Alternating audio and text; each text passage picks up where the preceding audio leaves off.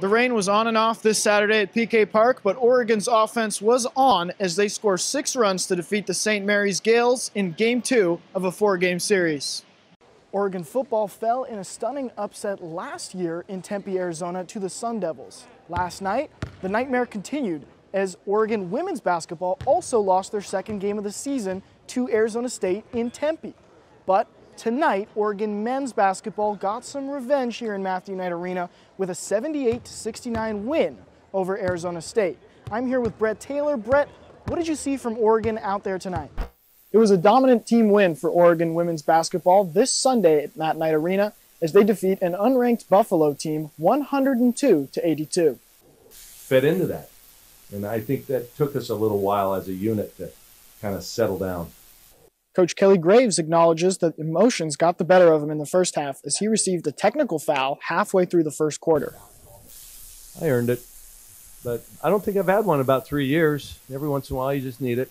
The last event of the season for Hayward Field will be also the last event at Hayward Field before it undergoes renovations. That will be the NCAA National Championships, June 6th through June 9th. With Duck TV Sports, I'm Michael Strite. The team improves to 4 0 this season as Sabrina Ionescu has already recorded two double doubles and two triple doubles. Next weekend, they head to Moraga, California to play UC Riverside on Friday and St. Mary's on Saturday. With Duck TV Sports, I'm Michael Strite. On a cold and blustery Saturday at PK Park, the Oregon Ducks baseball team lost 5 0 against the Florida Atlantic Owls. After facing three top 25 teams in a row, the Oregon Ducks will face an easier matchup this Tuesday at Matthew Knight Arena against Hampton. Reporting with Duck TV Sports, I'm Michael Strite. The Ducks may be playing a lot of basketball over the next two weeks as they will be participating in the preseason WNIT, which opens Friday, November 10th against Cal State Northridge. Reporting from Matthew Knight Arena for Duck TV Sports, I'm Michael Strite. The Ducks improved to 3 and 1 in Pac 12 play Next week, they go on a road trip to face the Washington schools. Last week's road trip against Utah and Colorado didn't go as planned, but they now have a three game win streak that they'll hope to push to five next week in Washington.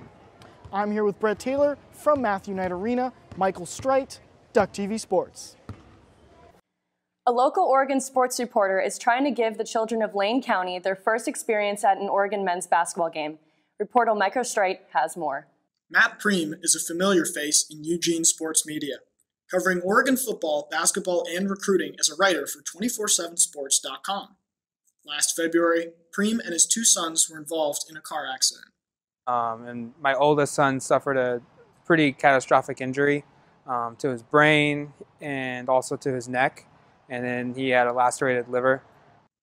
After nine months of recovery, the Prehm family is lucky to continue normal family activities like trick-or-treating on Halloween.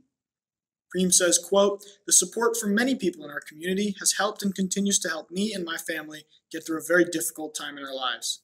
I wanted to come up with a way I could say thank you and also do something positive and impact other people, especially other kids in our Eugene Springfield community. Prehm started a GoFundMe page with the intention of bringing underprivileged youth in the community to their first Oregon basketball game. Prehm has doubled and could triple his original goal with over $2,600 raised and three weeks remaining to surpass his most recent goal of $3,000. Prehm is excited about the opportunity for children to experience an Oregon basketball game in Matt Knight Arena and hopes to be a role model for his children. I definitely think I was raised that, you know, you help people that need help. And I, w- I needed a lot of help, and a lot of people helped me. And so it's pay it forward. You know, you do good things for people, and good things will happen to you as well. With Duck TV Sports, I'm Michael Strite. To help Matt Prehm reach his goal, you can visit his Twitter where the GoFundMe is pinned at the top. We sent Michael Strite to get a story of a walk-on who thought her tennis career was in the past. If you find yourself in an Oregon women's tennis match watching star seniors Shweta Sangwan and Daniela Nasser, don't overlook Taryn Fujimori. Taryn started tennis at the age of nine and played competitively all throughout high school. As high school came to a close, Fujimori was prepared to put aside tennis and even passed up playing for the club tennis team at UO. Earlier that summer, Fujimori did contact the coaching staff about being a walk on. After only one day of practice, she found herself in the lineup. Well, when Coach Courtney called me, that was just like crazy for me. Like, I like would like never have thought I could have played, like even walk on. Coach Courtney Nagel says her excellent attitude has allowed Fujimori to stay on with the team. Um, she's been incredible. I mean, she's a, a hard worker. She shows up with a smile on her face every day. She does everything you tell her to do. So for us, it's been really fun because every day we see a little bit of improvement in her. Just last week against St. Mary's, Fujimori and doubles partner Allison Mulville were one point away from victory.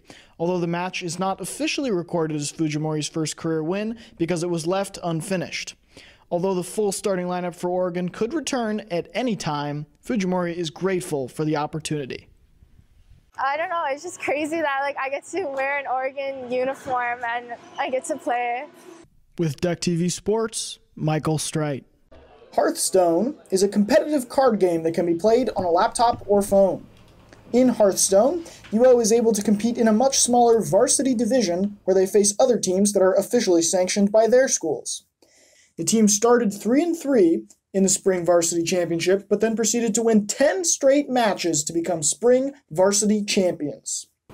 It's crazy. I mean, especially after fall term not doing too well, um, we kind of went into this with low expectations of ourselves, and this is it's, it's actually kind of surreal. And like, we go back and we watch the videos of us playing, and there's 2,000 people watching, or you know, however many, and it's just kind of, it feels kind of crazy. It all happened so fast.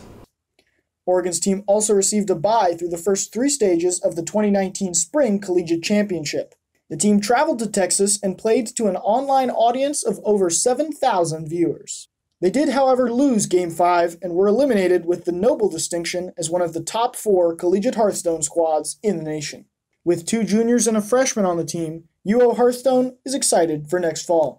I'm just looking forward to next year. Um, I mean, just getting so much scholarship money this year is insane. It's like, if nothing else comes of Hearthstone, it's been an amazing ride. Um, but I'm looking forward to next year trying to, to repeat success. With Duck TV Sports, Michael Strite. Oregon women's basketball has clinched sole possession of the Pac 12 regular season title for the second season in a row. Similar to last year, Oregon wrapped up first place down in Arizona. Washington State sealed the deal with a touchdown drive to take the win 34 to 20. Celebrating the historic win, Cougar fans stormed the field in a sea of crimson. Oregon baseball has nine games left in the regular season as they prepare for a weekend at home against the Utah Utes. Next weekend, the number three ranked Ducks fly to California for the Mary Nutter Classic, playing six tournament games with double headers on Friday, Saturday, and Sunday. Women's soccer closes the season with a three game homestand starting with Arizona State next Thursday and Arizona next Saturday. Oregon fell to the bottom of the Pac 12 standings after a tough road trip last weekend. Not only is Lily Burden a standout middle distance runner, but she has another passion as well. Julia Lobina has more. The rock climbing gym at the University of Oregon opened with the remodel of the Student Recreation Center in 2015. Kristen Gloystein explains the different types of rock climbing courses offered and says why she hopes that more students get involved. Reporter Mariah Mills has the story.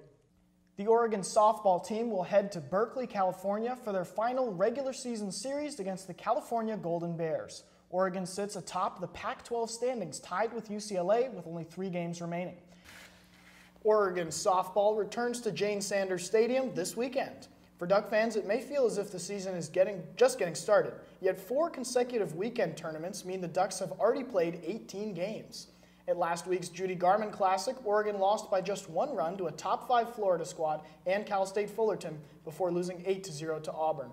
So far this season, Oregon softball has been a tale of two pitchers. The sensational Jordan Dolly has a 2.35 ERA this year, and Oregon is 9 and 2 in games that she starts, outscoring opponents 66 to 34. Outside of her starts, Oregon is just 2 and 5. Expect to see play, plenty of Dolly when the Ducks open up Jane Sanders this weekend against Oklahoma State.